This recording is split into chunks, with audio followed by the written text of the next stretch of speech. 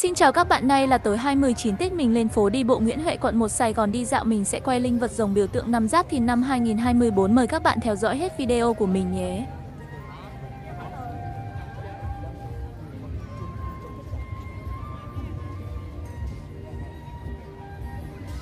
Nay phố đi bộ Nguyễn Huệ rất đông lên mình lồng tiếng một khúc mình sẽ để tiếng tự nhiên mong các bạn xem video thông cảm giúp mình nhé.